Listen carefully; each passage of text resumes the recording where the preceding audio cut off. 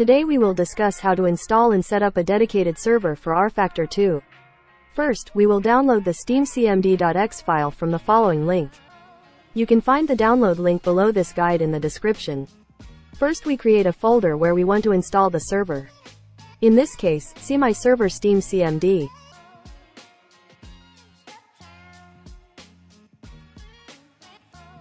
I attach this folder to my window via quick access in order to be able to access this folder more quickly.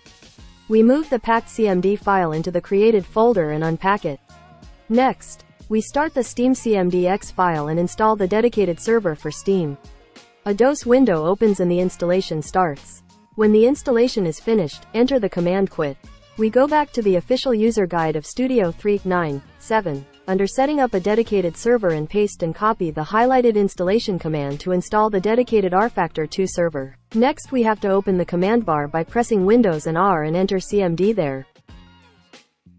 The DOS window opens again. We now enter cd, my server, steam cmd and confirm with the enter key.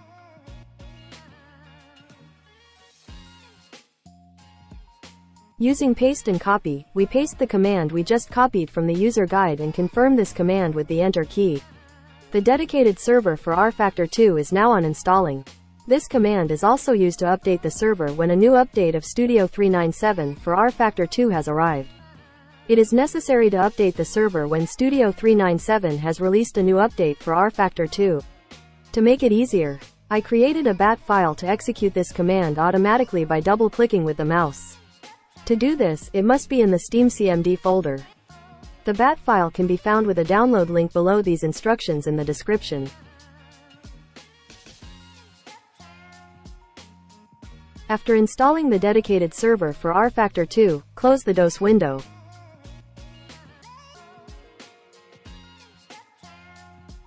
I also pin the folder rFactor 2 dedicated as quick access. Installing content via Steam Workshop we go to the Steam Workshop to choose content for our server and create mods. In this case, we take the BMW M4 Class 1 and the Silverstone track. While downloading the content, we right-click on the content in the Steam Workshop and copy and paste the URL address of the car and the track into my prepared template in text file format to filter out the ID codes of the content. The rest of the URL address is not needed and can be deleted. The ID numbers of our content we copy again by paste and copy. After successfully downloading and installing the content, we navigate it to the following folder. C Program Files x86 Steam Steam Apps Workshop Content 3 6 5 9 6 0 There you will find all your content from rFactor 2 as RFCMP file in its raw format. Now click on the path bar and expand the folder with the ID of the content you are looking for and paste it in. You will now see the folder you were looking for with the BMW M4 Class 1. Take this RFCMP file and copy it into the following folder. See my server rFactor 2 dedicated packages. We now repeat the entire process with the Silverstone track.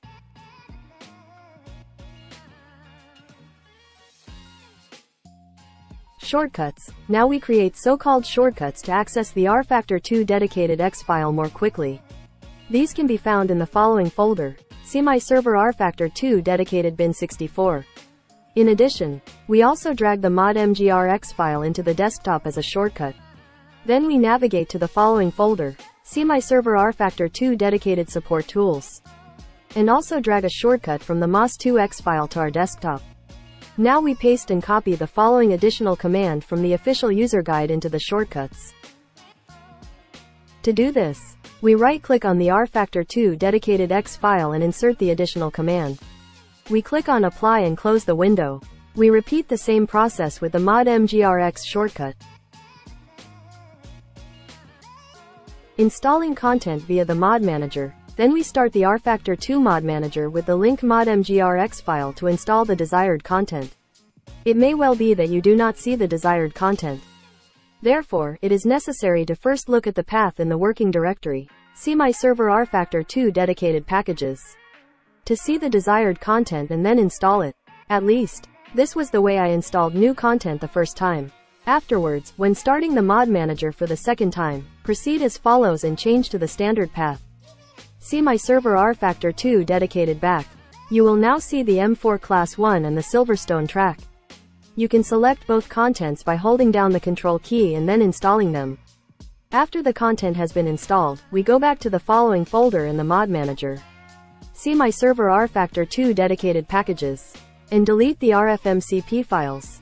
Because they are now installed in the dedicated folder of rFactor 2 and we don't want to waste unnecessary disk space. I find this the fastest and most convenient way to install and prepare content for the server. Creating mods, RFCMP files, for the rFactor 2 server. To do this, we now start the MAS2X file via our shortcut.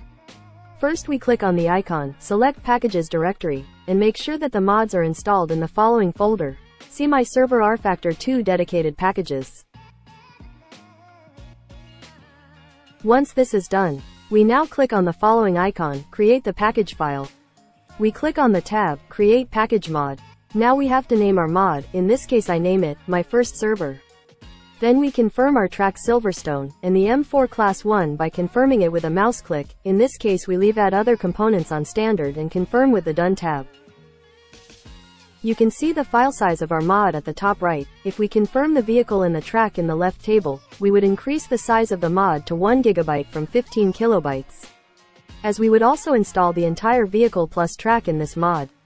But this is not necessary, because we only need the entries of the track, layouts, and vehicles, paints, in our mod. Because the mod is already installed, now we can choose our layouts from Silverstone, in this case only the Endurance layout from Silverstone plus the M4 Class 1 with all available paint jobs.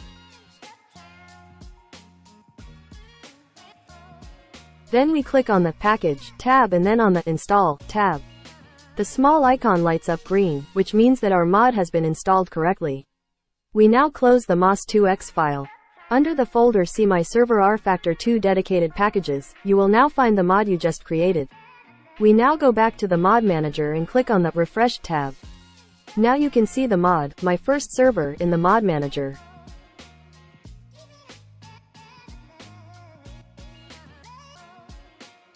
Starting and setting up the server. Now we can finally start our server for the first time. To do this, we activate the linked rFactor 2 dedicated X file on our desktop. If your Windows firewall asks for permission to allow rFactor 2 access to your network, simply confirm with Allow Access. This window will only appear the first time you start the rFactor 2 dedicated X. In the first window we confirm ourselves as Player 1, and confirm our newly created mod in the lower tab. Under Vehicles we also confirm our M4, as well as our track Silverstone. Under the Options tab, we can set our sessions, such as real road, weather, driving aids, flag rules, length of the various sessions, whether the AI is included and and so on.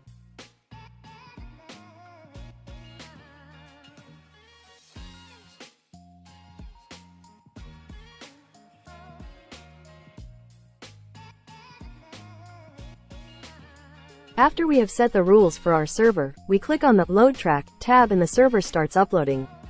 If everything is set correctly, like your ports, your server should now be visible in multiplayer mode in rFactor 2. The exact settings of the ports can be found in the official rFactor 2 guide. That's it. Congratulations, you have created your first dedicated server for rFactor 2, but we are not quite at the end yet. If we want to provide paid content, so-called DLCs in our server, we now have to do the following. We go into the folder. C program files x86 Steam Steam Apps Common rFactor 2 user data, and copy the file, server unlock bin to the following folder. See my server rFactor 2 dedicated user data.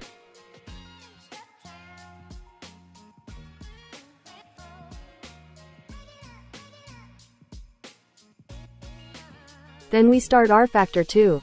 Go into single player mode and close rFactor 2 again. Next, we copy as an example from the following folder. C program files x86 Steam Steam Apps Common rFactor 2 installed vehicles. The BMW M3 BTCC into the following folder. See my server rFactor 2 dedicated installed vehicles. We now repeat the process with a track. In this example we take Brands Hatch from the following folder. See Program Files x86 Steam Steam Apps Common rFactor 2 installed locations. We copy brands hatch into the following folder. See my server rFactor 2 dedicated installed locations.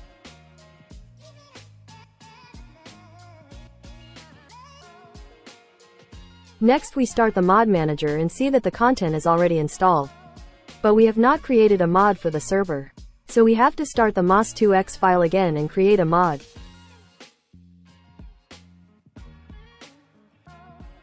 We call it BTCC Brands Hatch. We select the BMW M3 BTCC, and in the next window Brands Hatch, we leave the components at default, and select only the Brands Hatch GP layout. Click on Package, and then install the mod. Now we go back to the mod manager, click on refresh and see our mod BTCC Brands Hatch installed.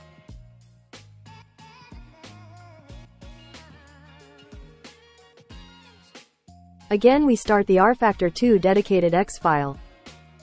And now select this just created mod BTCC brands hatch. We set up our server according to our wishes and confirm with load track. In the same way, you can also provide and install third-party content, both paid and free, for your server. Now we have done it. Have fun with your multiplayer races.